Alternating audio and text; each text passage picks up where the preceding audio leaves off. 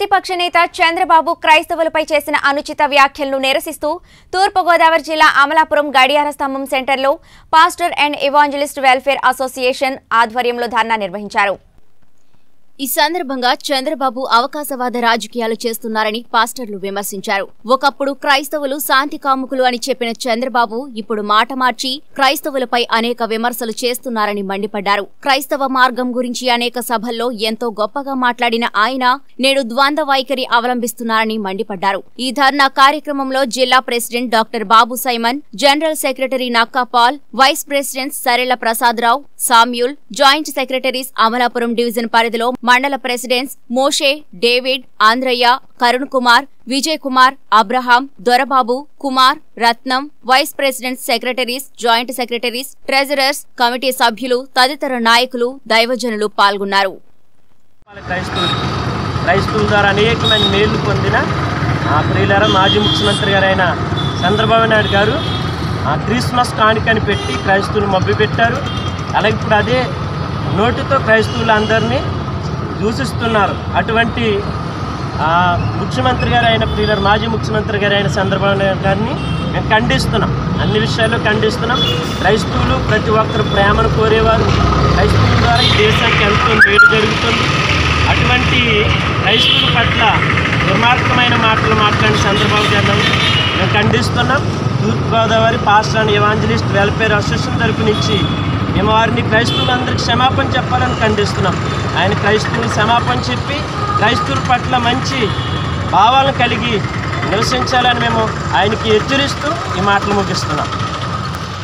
ఆంజలిస్ట్ welfare association president గారిని గత దినాల్లో చంద్రబాబు నాయుడు గారు క్రైస్తవుల మీద చేసినటువంటి వ్యాఖ్యలకు నిరసనగా ఆయన మాట్లాడిన మాటలు క్రైస్తవ మనోభావాల్ని కించపరిచే విధంగా ఉన్నాయి కాబట్టి ఆయన మాటలను వెనక్కి తీసుకోవాలని వారు వ్యాఖ్యలను వెనక్కి తీసుకోవాలని తూర్పుగోదావరి జిల్లా pastor and evangelist welfare association తరఫున మేము తీవ్రంగా ఖండిస్తూ ఉన్నాం.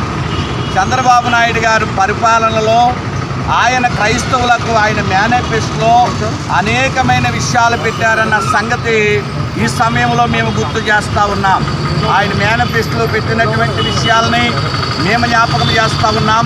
ఒకటి ప్రతి జిల్లాలోనూ క్రైస్తవ భవనాన్ని నిర్మిస్తామని చెప్పారు. అలాగే విదేశీ విద్యకు ఇరవై ఐదు లక్షల రూపాయలు ఇస్తామని చెప్పారు. జెరూసలేం యాత్రకు బడ్జెట్ను పెంచుతామని చెప్పారు. ప్రభుత్వ భూముల్లో స్థలాల్ని బరియల గ్రౌండ్లకు ఏర్పాటు చేస్తామని చెప్పారు. అలాగనే దళిత క్రైస్తవులను ఎస్సీలుగా గుర్తించేటందుకు కేంద్రం మీద ఒత్తిడి తెచ్చి న్యాయం చేస్తామని చెప్పారు. చర్చిలు మరియు ఇతర క్రైస్తవ ఆస్తులకు సంబంధించి భూ సర్వే చేసి భూమి హక్కులను పత్రాలను అందిస్తామని చెప్పారు. అన్యాక్రాంతమైన చర్చి భూముల గురించి విచారణ జరిపించి న్యాయము చేస్తామని చెప్పారు. ఇండిపెండెంట్ చర్చిలు నిర్మాణం చేసుకోవడానికి ఆ సులభం చేస్తామని చెప్పారు. పాస్టర్లకు ఉచిత గృహాలను కల్పిస్తామని చెప్పారు. క్రైస్తవ సోదరులకు సంపూర్ణమైనటువంటి భద్రత కల్పిస్తామని చెప్పారు. ఇదే చంద్రబాబు నాయుడు గారి మేనిఫెస్టోలో పెట్టినటువంటి విషయాలు మరి ఈ వేళ ఆయనకి ఎందుకు జ్ఞాపకం రావడం లేదు? ఈ క్రైస్తవుల మీద అవాకులు చవాకులు ఆయన మాట్లాడుతూ ఉన్నారు. ఈ క్రైస్తవులు భారతదేశంలో ఒక ప్రాముఖ్యమైనటువంటి పాత్ర పోషించేటటువంటి వారిగా ఉన్నారు అనే విషయాన్ని తెలియచేస్తా ఉన్నాము ఈ సభాముఖముగా. ఈ క్రైస్తవుల వలన అనేకమైన హాస్పిటల్ కట్టబడ్డాయి అనేకమైన కుష్ఠరోగులకి వైద్యం అందింది. ఈ క్రైస్తవుల వలనే పేపర్ ప్రింటింగ్ మిషను కనిపెట్టడం జరిగింది. ఈ క్రైస్తవుడు జాన్ గోటన్ బర్క్ అనేటటువంటి వ్యక్తి మొట్టమొదట ఈ పేపర్ ప్రింటింగ్ మిషన్ కనిపెట్టాడు. అలాగనే వాచీలు గడియారాలు కనిపెట్టింది. Man president Italy. అలాగే ట్రైన్ కనిపెట్టింది. రిచార్డ్. అలాగనే కంప్యూటర్ కనిపెట్టింది.